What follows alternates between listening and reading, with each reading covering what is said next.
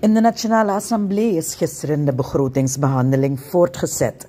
Bij aanvang van de vergadering werd aangegeven dat er een donkere vrijdag is geweest in de parlementaire geschiedenis. Vele parlementsleden hadden een wit bandje om de rechterbovenarm gebonden als symbool voor vrede en als afkeuring voor alles wat zich vrijdag en daarna heeft voorgedaan. Parlementsvoorzitter Marinus B. gaf aan dat het er bijna op wou lijken alsof er een tropische storm door de Nationale Assemblée heeft geraast. Maar we moeten door. Het volk van Suriname, onze familie en vrienden, heeft zich geuit en hoewel ik het met klem deze wijze waarop het protest zich heeft gemanifesteerd afkeur, ben ik van mening dat dit signaal niet mag worden genegeerd. Wij, de regering tezamen met het parlement, moeten ervoor zorg dragen dat het volk, onze contremand, zich nooit meer geroepen voelt om zich op dusdanige wijze te uiten.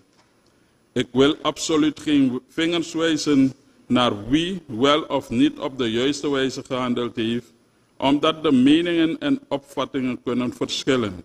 En dat mag natuurlijk, want we leven in een democratie. Waar ik wel op wil wijzen, is dat het parlement en de regering collectief verantwoordelijk gesteld mogen worden voor het onbehagen dat leeft onder onze mensen. Wij zijn het aan het volk verplicht om orde en rust te waarborgen in ons land, want daar zijn we voor gekozen. Dat is ook de voornaamste reden waarom ik heb gesteld dat er geen rustperiode wordt ingelast voor wat betreft de vergaderingen. De beste manier om een schok te boven te komen is door te werken aan een mogelijke optie. Staatsolie zegt het zo mooi: geloof in eigen kunnen. We kunnen alles als we maar de juiste mindset hebben om, en die krijg je door te werken aan verandering. Want stilstaan is geen optie. Gaf aan dat wij als natie, als land, gekozen hebben voor de democratie als staatsvorm. Daarvoor bestaan er spelregels die onder andere vervat zijn in onze grondwet. En ik denk dat het goed is dat een aanval op het gebouw van de Nationale Assemblée, dat dient als symbool van het volk, dat ook wordt genoemd het huis van het volk, dat we dat zeker uh, met afkeuring op moeten gaan reageren, omdat wij, wij allen 600.000 mensen in dit land, als law-abiding citizens dit moeten, uh, moeten accepteren. Dat wij de spelregels hebben gemaakt en dat elk handelen van ons binnen de perken van die regels die wij zelf met elkaar hebben afgesproken, dat moeten plaatsvinden. Heer voorzitter, we zijn als volksvertegenwoordigers, als instituut bereid om te luisteren naar het volk en te werken naar verlichting van de noden van het volk. Daarvoor zijn we er hier. Maar een aanval plegen op uw eigen huis als volk, dat kunnen we niet goed praten. Dit gedrag moeten wij nalaten, moeten we voor altijd nalaten. En ik denk dat wij als samenleving die collectieve verantwoordelijkheid moeten oppakken. Dat wij met z'n allen verantwoordelijk zijn voor de rust, voor de kalmte, voor de veiligheid, voor de verdraagzaamheid. Maar ook voor de vrede en voor harmonie in deze samenleving. Wij als grote samenleving, wat zijn er gebaat bij dat wij een steentje bijdragen en die collectieve verantwoordelijkheid gaan nemen om dit land verder te leiden. Het is een oproep aan ons allemaal. De fractieleider van de NDP, Rabin Permisser, gaf aan dat ook zij het betreuren dat de voorgenomen protestactie, welke vreedzaam behoorde te zijn, ontaard is in baldadigheden. Echter blijkt volgens hun dat de regering onvoldoende oor heeft voor de noden van het volk. Burgers gewond zijn geraakt en eigendommen van derden vernield en onvreemd zijn geworden. De NDP-fractie betuigt daarom diep medeleven met de gewonden en de getroffen ondernemers. Wij respecteren elk vreedzaam protest. Burgers hebben het democratisch recht om hun misnoegen kenbaar te maken. Vanwege de steeds verslechterende leefomstandigheden van grote delen van de samenleving. Suriname is bijna niet meer leefbaar. Dagelijks glijden we af Vanaf het aantreden van deze regering zijn er diverse gemoedelijke protesten geweest. Echter blijkt dat de regering onvoldoende oor heeft voor de noden van het volk. Tot aan de vooravond van het aangekondigd protest is er genadeloos een verdere brandstof verhoging doorgedrukt. Onze collega volksvertegenwoordiger, de heer Ebu Jones, werd zeer hardhandig aangepakt gedurende zijn participatie aan het protest. Hij trachtte de gemoederen tot rust te brengen en bood zelf hulp aan een gewonde politieagent in afwachting op medische hulp. Wij eisen een diepgaand onderzoek hieromtrent. Er zijn vele vragen op diverse gebieden over het optreden van onze gewapende machten die nog beantwoord moeten worden. De regering heeft niet ervoor kunnen zorgen dat de veiligheid gewaarborgd was. Het protest in goede banen werd geleid en vreedzaam verliep. Integendeel is er met groot machtsvertoon geschoten op burgers en traangas losgelaten. We betreuren nogmaals de tafereelen die zich hebben voorgedaan op 17 februari en we roepen de regering op om aan een serieuze zelfreflectie te doen en haar desastreus beleid drastisch om te buigen ter voorkoming van verdere uitspatting. ABOP-fractieleider Obed Canapé gaf aan dat protesteren een noodzakelijk onderdeel is van de democratie.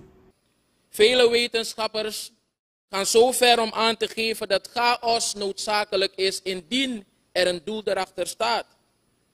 Meneer de voorzitter, maar nog steeds, als ik kijk naar onze samenleving en waarin we geloven en hoe wij hier gewend zijn te betogen, onze meningen naar voren te brengen.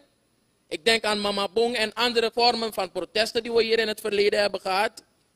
Meneer de voorzitter, de tijd heeft ons genoeg geleerd om vandaag te staan en te weten welke keuzes wij nooit meer moeten maken als samenleving.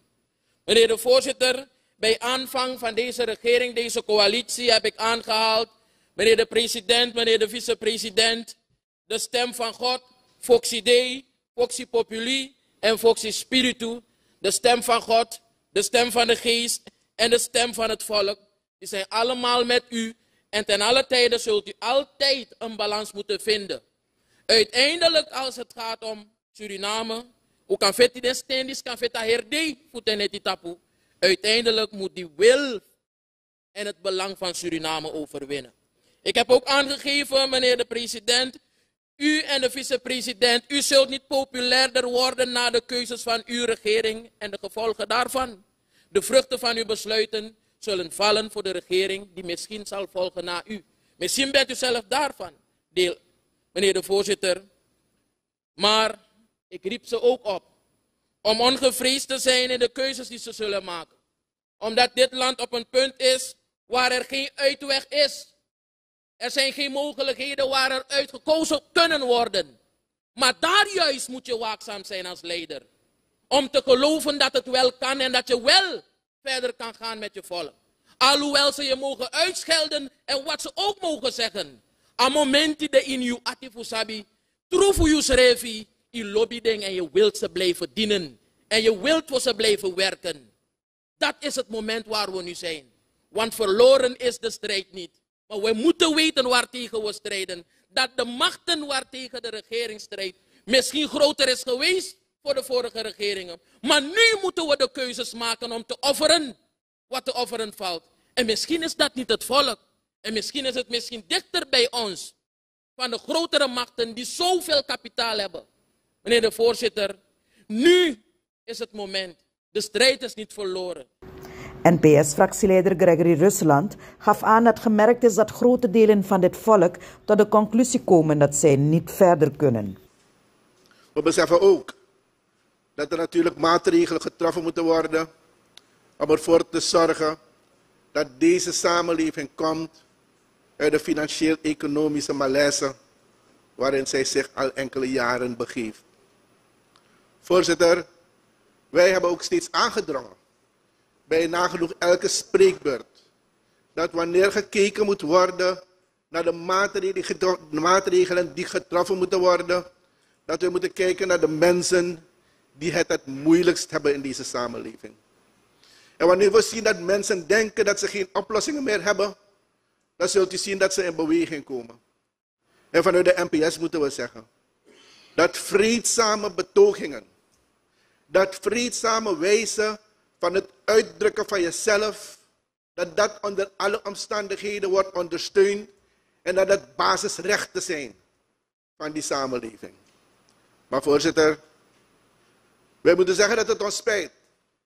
Dat wij zien dat op 17 februari jongstleden vreedzame betogingen, althans wat dat had moeten zijn, uitgemond zijn in betogingen waarbij er vernieling, waarbij er brandstichting, waarbij er baddadigheden zijn geweest, waarbij mensen, burgers en overheidsinstanties zoals de Nationale Assemblée het gelag hebben moeten betalen van uitspattingen van deze acties die uitgevoerd zijn. En daar spreken we onze afkeuring krachtig uit als Nationale Partij Suriname.